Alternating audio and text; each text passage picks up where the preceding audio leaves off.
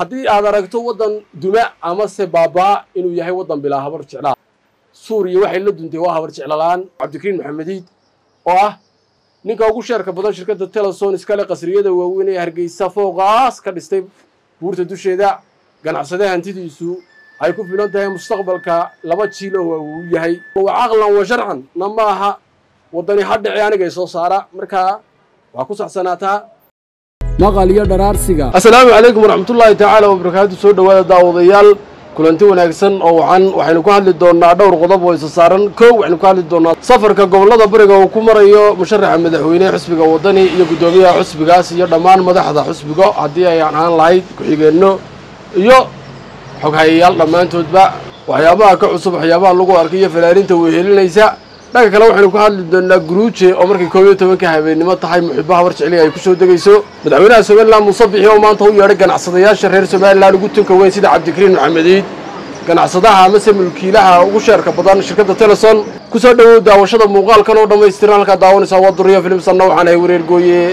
Maqal iyo dharaarsiga marna maanku kama guro mana laha waxiine waa madal xoroo furan. La jaanqaad duriya filim safarka walaaleeye ee uu hogaaminayo musharaxa madaxweynehe xusbiga waddani ahna musharaxa isbeddeldoonka oo shalay toolo ku sugnaa magaalada oog waxyaabaha ka soo yeedhay waxaa ka mid ahaa inuu musharaxu iyo xusbigiisu xilligaa ay geeyeen xoolo u badnaa geel oo ay ugu tala galeen ciidanka qaranka ee ku sugan jiidaasi inay lafahooda laabaha ugu saydhaan. Waxaa kale oo intaa raacaa inuu musharaxu bartaa kaga dhawaaqay in ciidamada s s b oon xuquuq ku qabin xukuumadda imika jirta ay xuquuqda u qori doonaan kuna dari doonaan ciidanka qaranka. Markay yimaadaan dhanka kale musharax wuxuu sheegay codka musharaxnimo ee madaxweynaha isbeddeldoonkana isaga in la siiyo ka ururkana in isaga la siiyo. Waxaa jira dad si kale u arkayey miyuu ku saxsanaa mise uu ku qaldanaa? Inuu xusbigiisa waddani uu ka soo baxayo uu ka doonayo musharaxa madaxweynenimo inuu kaga noqdo madaxweyne inuu dadka u weydiiyo codka xusbinimo isaguna weydiisto codka musharaxnimo jawaabta su'aasha koobani waa kuma khaldanayn sababtoo ah waxa isaga uu ka soo baxayo musharaxa u yahay waa waddani mana suuragal wa caqlan wa sharcan na ma aha waddani ha dhici anigay soo saara. Markaa waa ku saxsanaataa sida guddoomiyaha xusbiga urur siyaasadeedka ka ah maxamuud xaashi uu yidhaahdo codka isbahaysiga musharaxa madaxweynena aynu siino ciro iyo ku-xigeenkiisa ka ururkana ka ururkana kaah la ogaada. Unbay la mid tahay waayo maxamuudna kaah buu wax la doonayaa inuu xusbi noqdo. Cabdiraxmaanna waddani buu la doonaya inuu xusbi noqdo. Laakiin waxay ka midaysan yihiin keliya in la bedelo majaraha talada sida loo hayo iyo cidda xilligan haysa. Oo ay kulmiyo guud ahaan ka takhallusaan. Dhanka kale safarka musharaxa iyo waftigiisu waxay u ruqaansadeen dhanka iyo gobolka sanaag caasimadiisa gobolka ceerigaabo meelu jirta saddex iyo toban kilomitir ka hor. Inta aanay gaadhin magaalada ceerigaabo waxay sameeyeen hakad. Halkaana waxay kula kulmeen bulsho deegaan halkaa ku ah oo ayaga laftigooda ballanqaadiyo u sameeyeen. Guud ahaan safarkani waxa uu noqday mid saamayntiisa iyo shaxshaxdiisa iyo qaamihiisa wata waana mid guud ahaan ka duwan safaradii hore. Waayo waxa uu leeyahay xamaasad go'aanno ballanqaadiyo iyo arrimo badan oo ay fafaalahoodu yihiin kuwo dareen u muujinaya isbeddelka oo dadku in badan doonayeen in la qeexo waxa la doonayo in la bedelo iyo sababta la doonayo in loo bedelo bulshada waxay u baahnayd in la bedelo isbeddel la'aanta horumareed dhagaxa meesha la dhigay aan dhaqaaqayn oo dhagax kastoo meel la dhigaa uu noqdo dhisme amase ballanqaad kastaa u hirgelo sidiisa. Haddii waxaynu odhan karnaa bishani waa bishii ballanqaadyada waa bishii kala baxa waa bishii kala miirashada waa bishii ragga la kala dooran karayey waa bishii waayaaragu fahmi karayey halka loo socday iyo halka loo jihaystay taas ayaana sababtay musharaxa madaxweyneha xusbiga waddani iyo guud ahaan siyaasaddiisu inay xilligan ku jaangoodo ama u jihaysato ballanqaadyada ku salaysan waxqabadkiisa marka uu imaado insha allahu tacaala. Inta aanaynu halkaa kaga bixin kooxda xidigaha geeska maalmahanba waday sugaan ay kaga soo horjeedaan xukuumadda iyo olole diran oo u badnaa heeso gebigoodaba u muuqdo kacaan. Ayaa soo saaray laba heesood oo midoobe midda kale ka sii waali iyo xamaasad badan tahay. Nin walibana meeluu la cararay heesta hodhodho oo ah hees si weyn u qabsatay baraha bulshada waxaa ku luuqaynaya fanaanka cabdifataax yare oo ah fanaanka heesta xusbiga waddani ugu caansan amase lagu taageero qaada.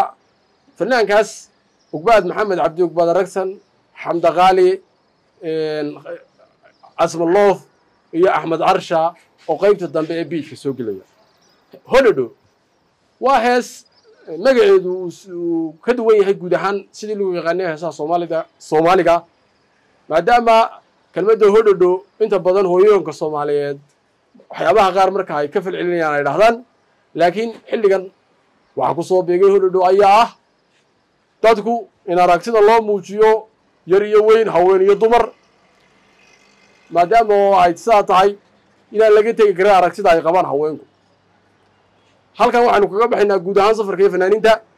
Opshanka labaad aynu ku hadlaynaa waa madaxweynaha somalilan musabixi oo maanta u yeedhay ganacsato.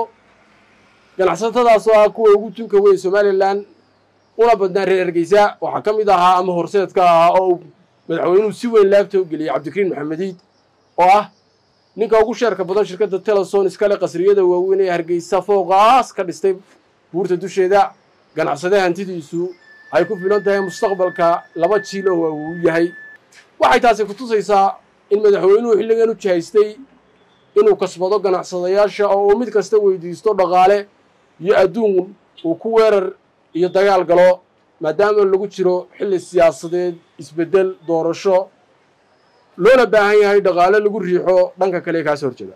La soco madaxweynuhu sanduuqyadii dowladdana waxay ku jiraan gacantiisa kii ganacsadayaashana inuu gacantii soo geliyu doonayaa ma dadaal yara balse waxaynu eegi doonnaa halkay ku dambayso fikraddiisu waxaa uga soo baxa haamaha culayo.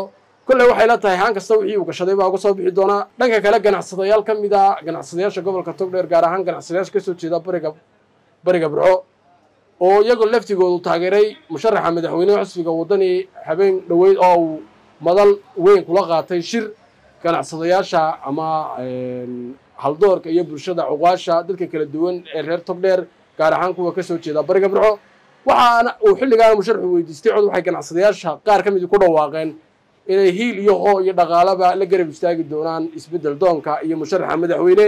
Oo ay yihiin rag aan iyagu biqin calaacalin cabsanna mabdoodana aan qarin dhaqaalahooda iyo maalkooda halkay ku bixinayaanna yaqaana taasi waxay ku tusaysaa madaxweynaha inay ku riixday bal inuu isaguna doonto ganacsadayaal reer hargeysa ganacsadayaal saamayn leh si ay bal iyaguna u siiyaan.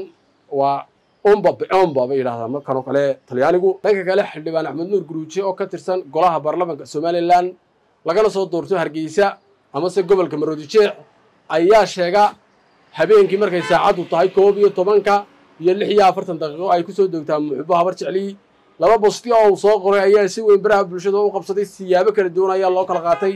Mid wuxuu ahaa habeenkii xalay ahaa midna wuxuu ahaa saddex habeen ka hor. Bal aynu ka horeyno bostiga hore oo xildhibaanku soo qoray iyo waxa uu xildhibaanku bulshada u soo bandhigay.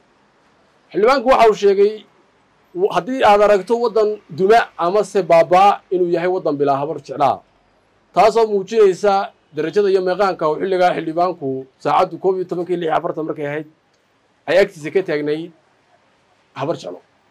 Bostigaas ayaa si weyn loo qaatay dadka kommentiyada ka bixiyey qaar ka mid a ayaa lahaa suuriya waxay la duntay waa habar jeclalaan ruwaandime heshiis ruwaando cola oo hutu iyo baantu isku laynaysa ayaa waxay dukaan ka furtay odayaroo habar jeclaa markaasi heshiisay.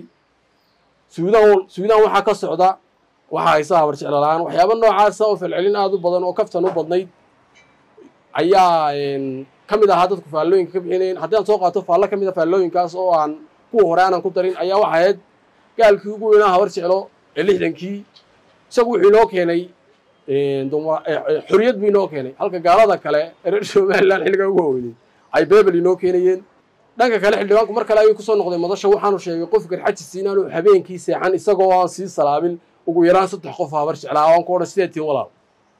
Tan ayaa saamayn kale iyo muxiboba aada u sii weyn dhalisay. Waxaa madashaas soo galay xildhibaan caanaboore oo ka soo jeeda gobolka sanaag lagana doorto degmada ceelaf weyn.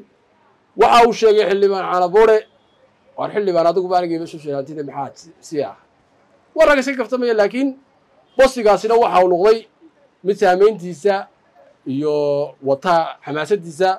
Xildhibaankuna wuxuu u muuqdaa mid fahansan halka loo socdo sida loo guurayo iyo waxyaabaha ay tahay dadka iyo dal guud ahaan bulshada reer somalilan in lagaga saaro xunfiyaadka kala wejiyada aan dantoodu ahayn waa nin u juhaystay oo isxilqaamay sidaan u arkayo hawl wanaagsano u hayaa aad baan ugu buuri aad baan ugu dhiirigelinayaa jacaylkaa faraha badan leh. Inay ma garanaysaa in loo ogaadona waan insha allah waan dhiirigelinayaa. Guud ahaan barnaamijkeenna iyo ka hadalka qodobadan oo idin waxaynu kaga tegaynaa halkaas dhanka kamaradu waa siciid xarbi anigu waxaan ahay wareergooye halkaa waxaa fadhiya arsame kana waa barkad saleebaan muuqaalkan muuqaal lamida intaan ku kulmi doonno waxaan idin leeyahay habeenkii iyo maalintuba haydo waxnada maqal iyo dharaarsiga marna maanku kama guro mana laha waxiine waa madal xoroo furan. La jaanqaad durriya filib